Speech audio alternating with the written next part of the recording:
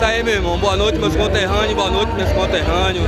Aí quem tá falando é Reginaldo aqui. Então fica muito agradecido aí, né, por uma festa dessa aí, festa maravilhosa. Vamos agradecer nosso prefeito Rosário Souza da hora aí, e ouvir isso aí, Choquinha, e ouvir um presente aqui junto com nós, todos os vereadores aqui. Nós estamos aqui comemorando a festa do Gari aqui, né?